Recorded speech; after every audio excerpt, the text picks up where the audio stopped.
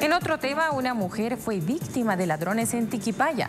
Le robaron sus tarjetas de crédito y gastaron más de 5 mil bolivianos en consumo antes de que ella bloquee las mismas.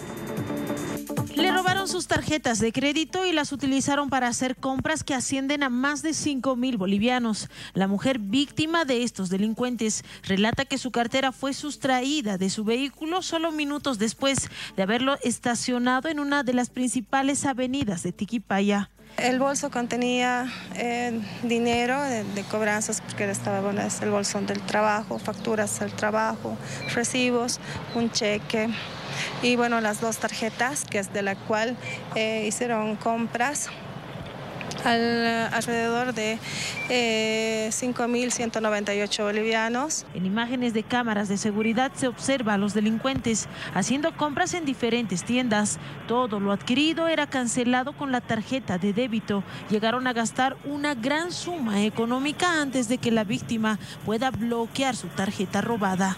En realidad son tres personas, ¿no? Porque se ve claramente que es un taxi que los acompaña, ¿ya? Eh, sí, lo que bueno, va llevando todas las compras. Ahora no sé si estará implicado el taxista o lo habrán contratado recién. Pero es una pareja, un hombre y una mujer, la señora de lentes y el señor que tiene un tatuaje en el brazo.